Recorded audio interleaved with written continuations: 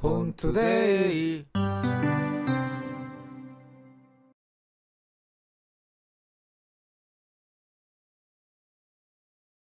네, 안녕하세요. 패치웍스의 아이폰 5 알로이 X 케이스를 소개해 드리겠습니다. 지금 제품을 개봉해 볼게요.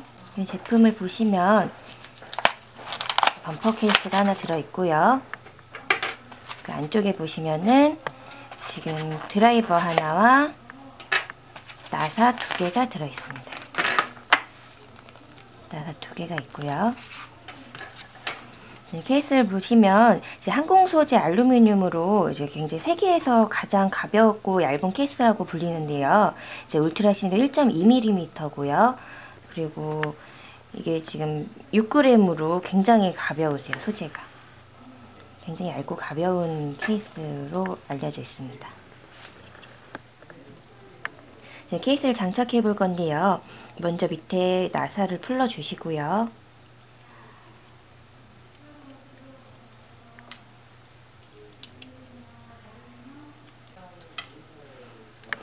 안쪽에 보시면 지금 스펀지로 마감 처리가 되어 있으신데요. 이제 핸드폰에 이제 흠집이 가지 않게 보호해주는 역할을 하고 있는 것 같습니다.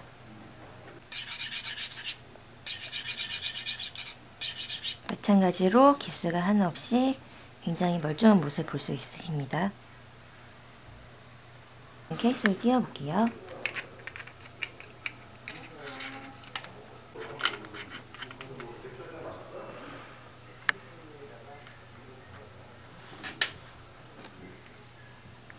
구멍에 맞게 꼭 끼워주셔야 되세요. 나사가 굉장히 작습니다. 이거 잃어버리지 않게 조심해 주시고요.